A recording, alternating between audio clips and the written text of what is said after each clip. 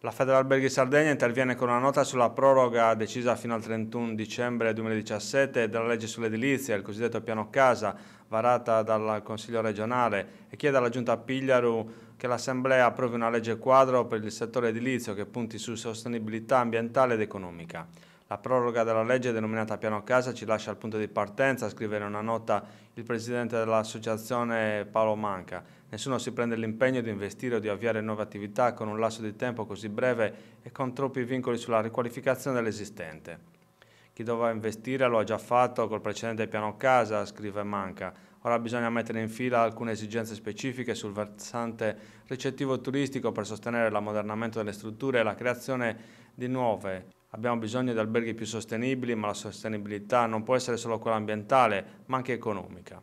Altrimenti il rischio di incentivare la creazione di cattedrali nel deserto o progetti imprenditoriali non in grado di reggersi in piedi.